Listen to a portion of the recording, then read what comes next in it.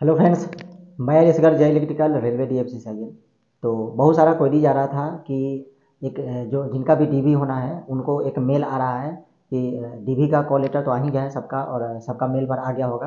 बाकी उसमें एक मेल में आ रहा है कि डीबी में से पहले आपको डॉक्यूमेंट अपलोड करने के लिए उसमें मेल पे आपको सभी को मेल गया होगा, जो भी जिनका भी डीबी है, उनका मेल गया होगा डीबी के लिए।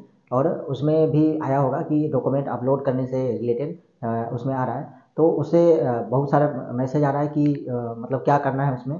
तो वो एक डी का मेल है सबसे पहले आप उसमें जाकर लॉगिन करेंगे। आप अपना रोल नंबर डालेंगे। रोल नंबर डालने के बाद लॉगिन करने के बाद पासवर्ड आएगा। सॉरी ओटीपी आएगा। ओटीपी आप डाल करके और उसको सबमिट करेंगे। तो वहाँ पे एक प्रोफ़ाइल खुलेगा आपका। तो उसमें ये इसलिए किया गया जैसे जो डी भी कराने जाते हैं तो उसमें एक डिजिटली तरीके से जो आपका प्रोफ़ाइल है, वो बना दिया बनवाया जा रहा है, जिससे आपका डॉक्यूमेंट सारा उसमें रहे और जब भी ज़रूरत पड़ेगी डी एफ़ सी सेल को तो वो अपना उस पर देख सकती है।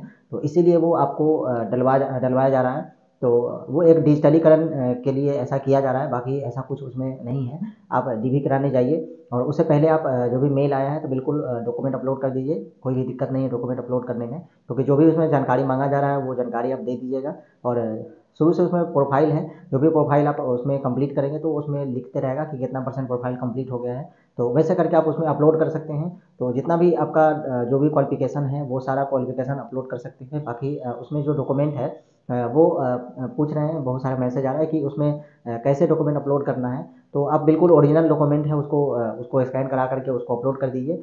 क्योंकि वहाँ पे जब आप जो डीवी कराने के लिए जाएँगे तो बिल्कुल ओरिजिनल ही देखा जाएगा, उसका आपका फ़ोटो कॉपी लिया जाएगा। तो ऐसा ही यहाँ पे है, आप बिल्कुल ओरिजिनल अपलोड कर दीजिए वहाँ पे, कोई भी दिक्कत नहीं है। और उसमें एनओसी का ये सब भी ऑप्शन आ रहा है एनओसी का जो भी पहले तो क्वालिफिकेशन है, जितना भी क्वालिफिकेशन है वो आप डाल सकते हैं। कोई भी दिक्कत नहीं है। अगर किसी का डिग्री मैच करता हो तो बिल्कुल वो ना डालें एक साथ। आप एक ही डिग्री देखा है लेकिन जिनका डिग्री मैच नहीं कर रहा अगर वो हाईएस्ट क्वालिफिकेशन जहाँ तक पढ़े हैं, बिल्कुल आप डाल सकते हैं वहाँ पे, कोई भी ऐसा दिक्कत नहीं है डी पी में। तो बिल्कुल हाईएस्ट क्वालिफिकेशन दिखा दीजिएगा जहाँ तक है आपका, और जो भी है उसमें जिस पोस्ट के लिए है उसका भी डिटेल देना है। तो सभी का डिटेल उसमें मांगा जा रहा है और कुछ भी नहीं है। और बाकी डॉक्यूमेंट को अपलोड कर अपलोड कर देना है। और उसमें एनओसी के लिए ऑप्शन आ रहा है कि कहीं भी आप जैसे करेंटली वर्किंग में हैं या जॉब छोड़ चुके हैं तो उसका भी ऑप्शन आ रहा है। तो जो भाई अभी जॉब में है, वो एनओसी अप्लाई किए होंगे पहले जहाँ पे डिपार्टमेंट पे है, पहले डिपार्टमेंट में तो वहाँ से एनओसी अप्लाई कर करे होंगे। अगर उनको एनओसी नहीं मिला है तो वो कॉलम आप छोड़ दीजिएगा, बाकी जो है वो भर दीजिएगा। और जो रिजाइन दे चुके हैं या जो जॉब छोड़ चुके हैं, उनके पास ऑप्शन होगा ही। तो वो डाल देंगे वहाँ पे क्योंकि जो ज्वाइनिंग डेट है और करेंटली वर्किंग है कि नहीं और अब कब आप जॉब छोड़े हैं तो ये सारा चीज़ मांगा जा रहा है तो वो आप दे सकते हैं जिनके पास है। अगर आप जॉब कर रहे हैं और एनओसी आपके पास नहीं है या नहीं मिला है एन ओ डिपार्टमेंट नहीं दिया है तो आप उसको कॉलम को छोड़ दीजिएगा और वहाँ पे डी एफ़ को जाकर अंडरटेकिंग दे सकते हैं।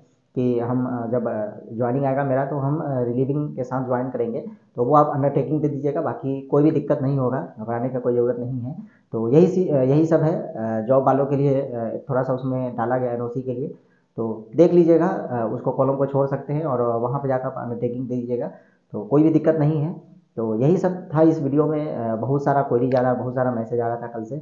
और लिंक एक्टिवेट हो गया है, जो कि पहले आया था, उस टाइम लिंक एक्टिवेट नहीं हो रहा था। अब लिंक एक्टिवेट हो गया है, आप बिल्कुल जा करके अपलोड कर दीजिए। डी होने से पहले तक अपलोड कर दीजिए, उसके बाद अपना डी करा लीजिए जा करके तो यही सब था इस वीडियो में। आप हमारे चैनल पर नए हैं तो चैनल को सब्सक्राइब कर लीजिएगा। वीडियो को लाइक कर दीजिएगा शेयर कर दीजिएगा। मिलते हैं अगले वीडियो में, तब तक के लिए बाय